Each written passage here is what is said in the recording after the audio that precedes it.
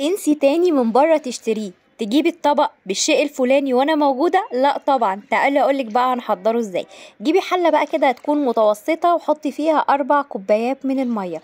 مية من الحنفية عادية خالص. بعد كده بقى يا ست الكل هاتي كوباية من الرز واغسليها كويس جدا أكتر من مرة وصفيها وسيبيها كده بقى لما آه تنشف. وبعد كده ضيفيها على الرز وقلبيهم وارفعيهم على النار. بس النار تكون هادية لمدة ربع ساعة ومن الوقت للتاني كده تقلبيه.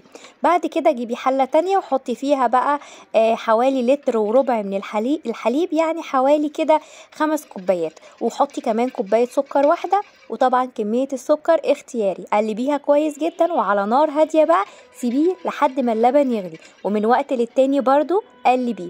بعد كده بقى هنجيب بولة ونحط فيها بقى إيه أربع معالق كبار من النشا أربع معالق هرميين. وهنحط كمان حليب powder بيدي طعم تحفة. بس المهم تستخدمي نوع حلو. هتحطي منه 3 معالق كبار. وهنحط بقى ظرف من الكريم شانتيه يعني حوالي 3 معالق كبار طبعا هرميين. ولو لسه مكملة معايا الفيديو ما تنسيش دعمونا بقلب وارفعوا الفيديو explore وصلوا على النبي في الكومنتات وقولوا لي من أي مكان بتتابعوني. قلبيهم بقى كويس جدا الخليط ده المهم إنك تقلبيهم على البارد. طبعا ضفنا كمان كوباية حليب وهقلب كده لحد ما الخليط معايا يكون كريمي. الرز بتاعي استوى وبقى جاهز. شايفين؟ ده بيكون قوامه. على طول دلوقتي بقى هخفقه بال hand blender أو أحطه جوه الخلاط زي ما أنا عايزة. المهم إن إحنا هنخلطه كده بصي نص خلطة كده يعني مش هنطحنه خالص يبقى عامل زي زي الكريمة كده لأ. نص ضربة كده وهضيفه على طول بقى على الحليب اللي طبعا غلى كويس جدا.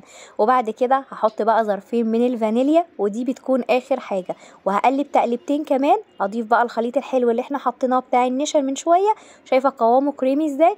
أول ما بنزل بالخليط ده بفضل أقلب بسرعة جدا علشان النشا بتاعي ما يتكتلش كده ويكون القوام معانا تحفة كده زي ما انت شايفة. جبت الأطباق بتاعتي بقى وابتديت إن أنا أعبيها. وطبعا نسيت أقولك على تك تكايه مهمة. أول ما بتقلبي الرز بلبن بتسيبيه في الحلة كده لمدة خمس دقايق علشان يتقل كده وبعدين عبيه وأول ما يهدى شوية بقى اللي أنا هاخد منهم جزء كده أدخله التلاجة والجزء التاني هدخله الفرن علشان هعمل آه رز بلبن في الفرن.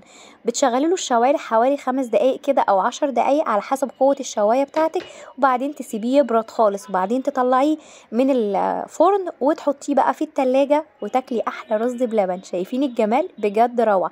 كريمي جدا زي اللي انت بتشتريه بالظبط ويمكن أجمل كمان لو عجبتك الطريقة بقى ما تنسيش تكتبي لي رأيك في الكومنتات. مستنية تعليقاتكم بتسعدني جدا. شايفين القوام كريمي إزاي؟ بألف هنا والشفا. بس كده bye bye.